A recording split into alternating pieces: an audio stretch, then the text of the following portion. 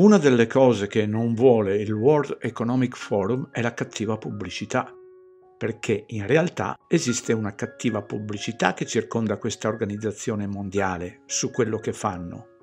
Dite di no?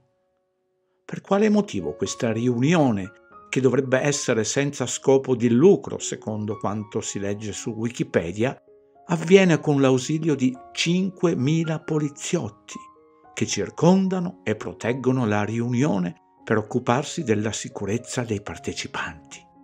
5.000 uomini sono una massa di persone. Sono pari al numero di spettatori dell'Arena di Verona, per fare un paragone. Il costo si aggira sui 45 milioni di franchi svizzeri o euro, come preferite. Ma lo scopo della riunione è invitare sul podio persone diverse, le quali in realtà lo scopo di queste loro conferenze è quello di cercare di cambiare le menti, il pensiero della massa, indirizzarlo dove vogliono loro. Sapete di certo meglio di me, che non seguo alcun social, che il World Economic Forum è in corso in questi giorni, da ieri 16 gennaio al 20 gennaio 2023, dove nel loro programma continuano a parlare di villaggi globali, del cambio climatico e chi ha indagato e sta indagando da anni sa che le variazioni sono indotte, basterebbe alzare gli occhi al cielo, eccetera, eccetera, eccetera. Perché ho intitolato questo video Il portale del male per l'inferno è in atto in Svizzera? Perché mi ha attratto la parola anima, che si trova sulla pagina 5 dimensioni della leadership per affrontare sfide complesse. Lo scrivono chiaramente quello che vogliono fare. Sta a noi comprendere. Leggiamo insieme. Anima. Scopo chiaro. I leader hanno bisogno di una direzione chiara in qualunque cosa scelgano di fare.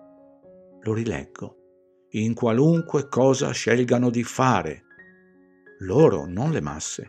La forza motrice alla base di questo scopo può derivare da profonde convinzioni o valori, lo ripeto, da profonde convinzioni o valori a cui aspirano a essere all'altezza, lo ripeto, a cui aspirano essere all'altezza, oppure può provenire da una visione ambiziosa che cercano di realizzare.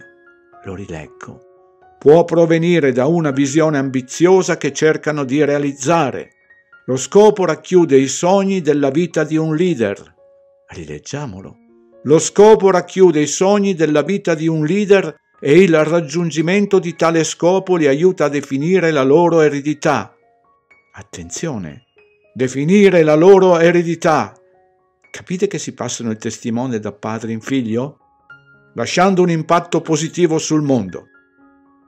Beh, per quanto riguarda il futuro dell'impatto positivo sul mondo, sarà dato da quello che riporterà la storia, perché in questa frase non c'è traccia di ben essere per le masse, ma solo credo e convinzioni di chi ambisce di essere leader di una folla che non ha mai scelto, né ha mai avuto la possibilità di scegliere.